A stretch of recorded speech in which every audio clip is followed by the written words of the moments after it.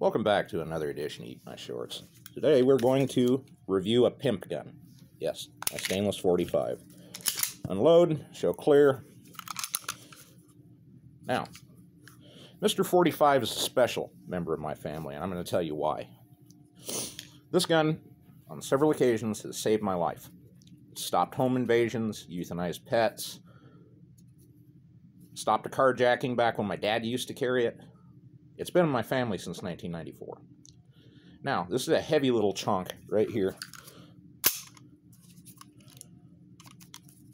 Weighs about 49 ounces. It weighs about the same as stainless steel uh, Desert Eagle does, I believe. It was made by Laser Arms Company, a subsidiary of the Wyoming Parker. And it's been my family since 1994. My dad bought it brand new from a gun shop in Coeur d'Alene that's still there, and they ran Cabela's off. So, like family owned gun shops, thumbs up. But the history of this design of firearm traces back over a hundred years to the Colt 1900 series of pistols all the way up to the 1911.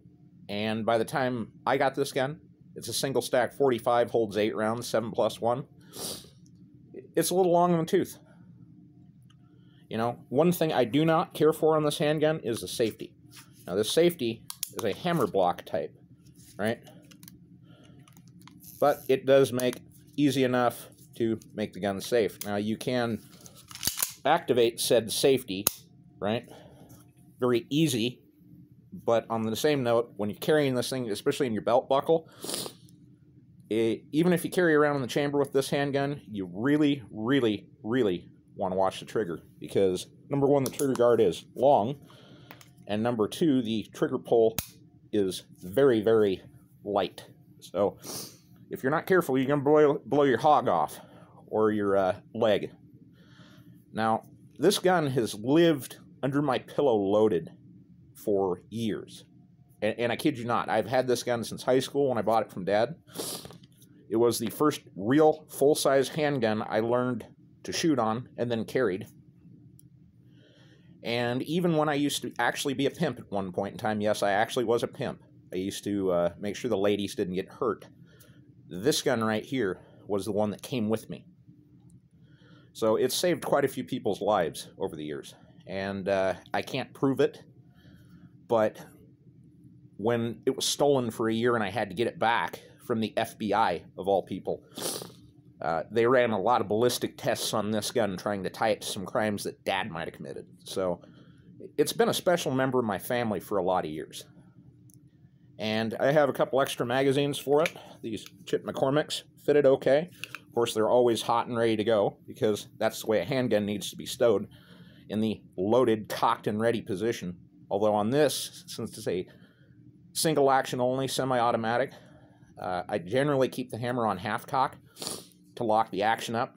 And if I need it, I can just thumb the hammer and get ready to go. Of course, when I carry this thing, I generally keep the hammer block on it. As, as I said, I, am not fond of the idea of blowing my dick off this thing. Yes, I know I should get a better holster for it, but I don't carry it much anymore. It's um, it's just kind of for, relegated for ceremonial and duty use. Like if my house were on fire, this is the one thing I would grab as I ran out the door. Because at the end of the day, when I become a freedom stain, this gun is probably going to be kicked in the hole with me when I leave.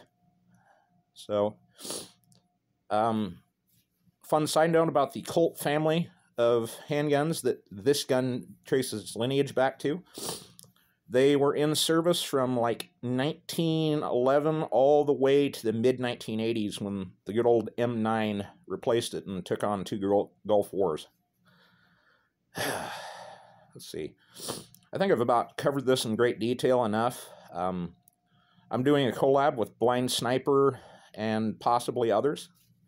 So if you don't know who they are, check out their YouTube channels, Blind Sniper, uh, 8mm Mauser Dude, Great Northwest Weaponry, Guns, Guns, Gear and Gun with Geary Gunderson.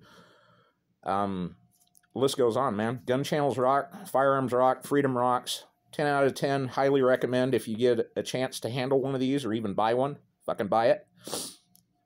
Um, it looks a lot like an Automag, and my theory is that Automag bought out the patent for this gun. That's about the farthest I've traced it.